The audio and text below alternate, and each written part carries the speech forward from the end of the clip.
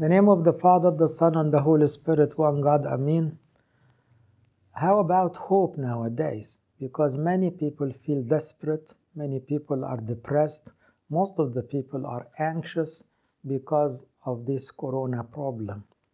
But if you believe in God, the one who is controlling everything, if you believe that this God is your Father, the one who loves you so much, much more than you love yourself, then you will have this hope.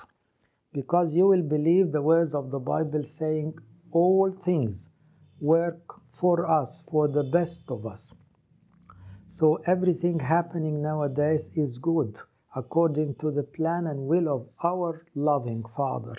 So we cannot have the hope in this world, in the nature, in the people, but we can hope in God. When we trust God, when we trust His love, we are in good hands, we are secured, we are safe. And we believe that we can sleep uh, quietly because He is there following up everything and working for our salvation.